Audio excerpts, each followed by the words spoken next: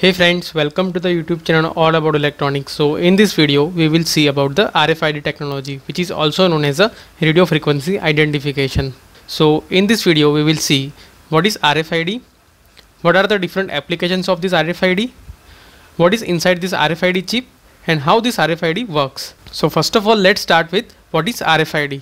So this radio frequency identification or RFID is a technology which is working on a radio frequency or radio waves. So this technology is used to automatically identifying the objects or tracking the objects.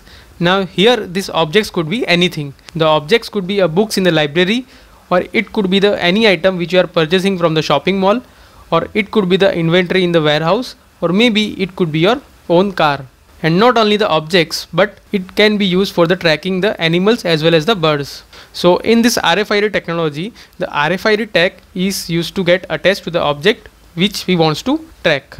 So this RFID reader is continuously sending radio waves. So whenever this object is in the range of the reader then this RFID tag used to transmit its feedback signal to the reader.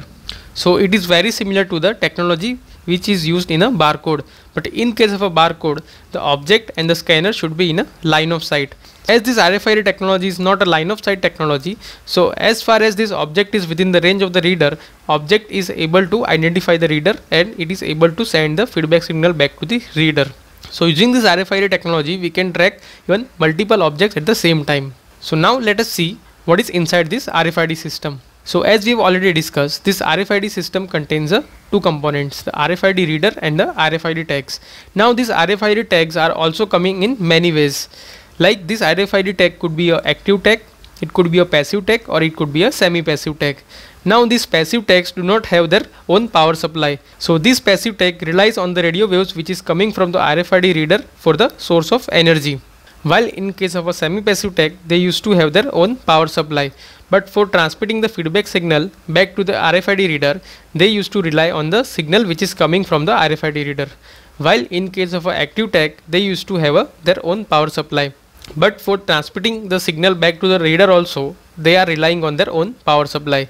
So as this passive tag do not have a, their own power supply so the range is less compared to the active and the semi passive tags. Alright so now first of all let's see what is inside this RFID reader so these RFID readers are coming in a many size and the shapes. So this RFID reader could be a handheld reader or it could be a as large as the size of the door which you normally see inside the shopping malls. So this RFID reader mainly consists of uh, three components. So the first component of the RFID reader is the RF signal generator. So this signal generator generates a radio wave which are transmitted using this antenna. Also to receive the feedback signal which is coming from the tag, the RFID reader also have a receiver or a signal detector. And to process the information which is being sent by the RFID tag, this RFID reader also have a microcontroller or many times this RFID reader is directly connected to the computer. So now let us see about the RFID tag.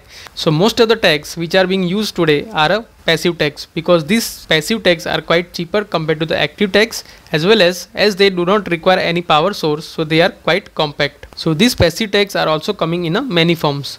So this passive tag could be either a size of a keychain or it could be either a size of a credit card or maybe it could be in a form of a label. So let us see what are the basic components inside this RFID tag. So the first component that you see inside the RFID tag is the transponder which receives the radio waves which are coming from the reader and sends the feedback signal back to the reader. As the passive tags do not have their own supply so they rely on the radio waves which are coming from the reader. So they used to get the energy from the radio waves which are coming from the reader.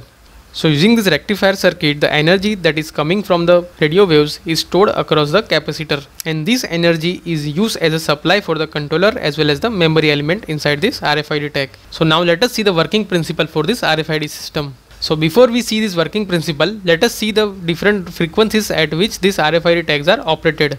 So mainly these RFID tags are operated at three frequencies the low frequency range, the high frequency range and the ultra high frequency range. So this frequency range or frequency of operation varies with country to country but majority of the countries used to follow these frequencies for the operation for the RFID tags. So as these low frequency signals can travel very short distance so the range of the RFID tags which is using this low frequency range is up to the 10 centimeters.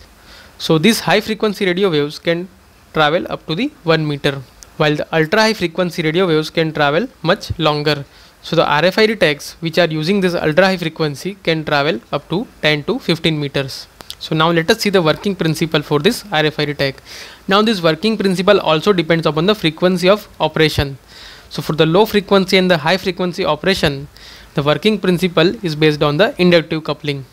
While in case of a high frequency RFID tags, the working principle is based on the electromagnetic coupling.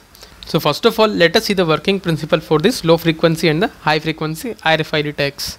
So as you have said earlier, this RFID reader continuously sending a radio waves with a particular frequency. So now this radio waves which is been sent by this RFID reader serves a three purposes. First, it induces the enough power into the passive tag. Second, it provides the synchronization clock for the passive tags. And the third, it acts as a carrier for the data which is coming back from the RFID tag. So these are the basic three purposes which is being served by these radio waves which is sent by this RFID reader. So in case of a low frequency and high frequency operation, as the RFID reader and tag are very close to each other, so the working principle is based on the inductive coupling.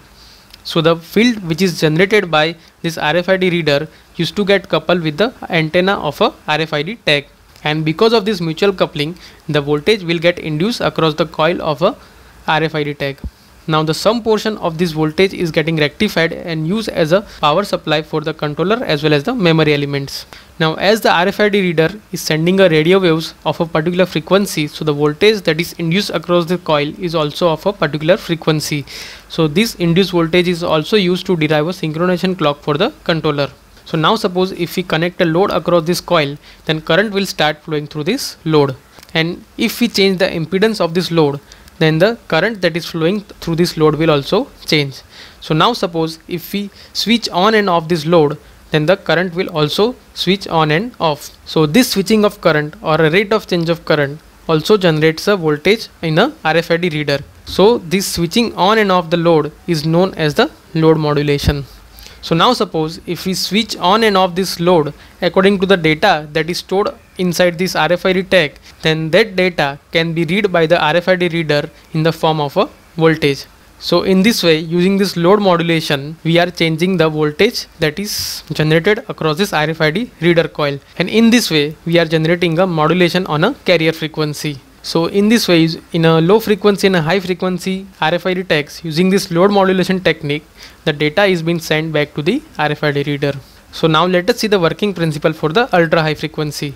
So in case of ultra high frequency as the distance between the reader and the tag is up to few meters so the coupling between the reader and the coil will be the far field coupling. So this RFID reader continuously sending the radio waves of a particular frequency towards the tag and in response this tag is sending a weak signal to the RFID reader. Now this weak signal which is being sent back to the RFID reader is known as the backscattered signal and the intensity of this backscattered signal depends upon the load matching across this coil. So if the load is matched exactly then the intensity of the backscattered signal will be more but if the load is not matched exactly then the intensity of this backscattered signal will be less. So in this way by changing the condition of a load we can change the intensity of this backscattered signal. And if we change the condition of a load according to the data that is being stored across this RFID tag then that data can be sent back to the RFID reader. So in this way RFID reader is able to sense that data now in case of a far field coupling as the distance between the RFID reader and tag is a few meters so the initial signal which is being sent by the reader should be strong so that the backscattered signal can be retrieved by this RFID reader. So this is how in a case of a far field coupling the signal is sent back to the RFID reader using this backscattered modulation technique. So now let us see the different application of this RFID technology. So this RFID is used in a wide range of applications and many of the applications which we have already discussed. So here I am listing the few applications in which this RFID system is used. So I hope in this video you understood what is this RFID technology and how this RFID technology is working. So if you have any question or suggestion, please let me know in the comment section below. If you like this video, hit the like button and subscribe to the channel for more such videos.